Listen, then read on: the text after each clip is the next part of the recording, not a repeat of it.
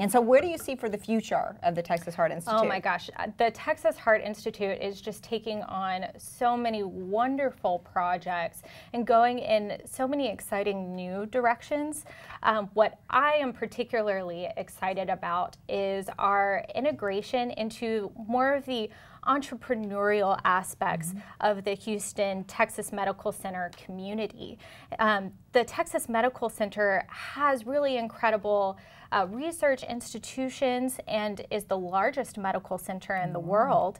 And we have an incredible opportunity here to really help push new technologies through startup companies.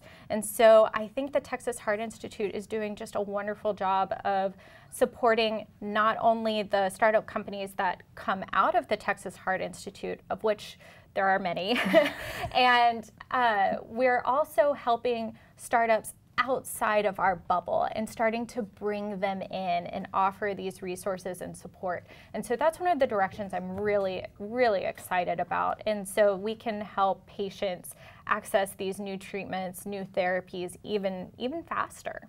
This is fascinating. Thank you. Thank you so much for being here with us today. Oh, thank you so much for chatting with me.